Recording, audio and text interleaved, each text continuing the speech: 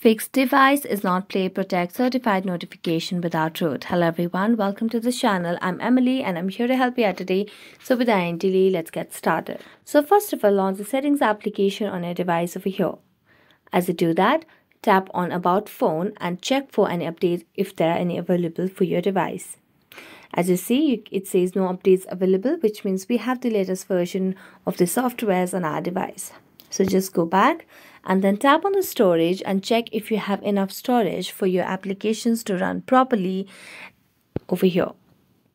After checking on the storage, you can just tap on factory reset if this does not solve the issue. Now check for these items over here and if it's possible, you can erase all data and reset all your device's information as well.